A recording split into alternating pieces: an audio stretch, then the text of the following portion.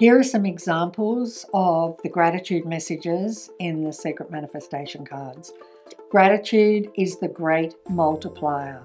Oh my gosh, it is true because whatever you're grateful for multiplies that very thing. And so, if you're grateful, for example, that you're having a really happy day, guess what? You just lined up a whole lot more days like that, full of joy, full of happiness.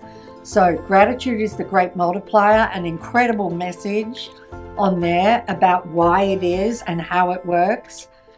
Be grateful for your challenges because when you are grateful for your challenges, you dissolve them. They dissolve.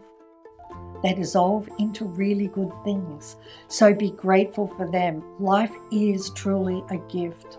So that is another gratitude message with incredible words on there.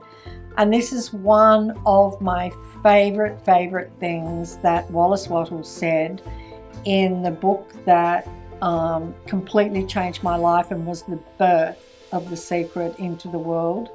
And that is gratitude is riches. The daily practice of gratitude is one of the conduits by which your wealth will come to you. Never a truer word said. Truly, gratitude is riches and it's free. Gratitude's free. What can I say?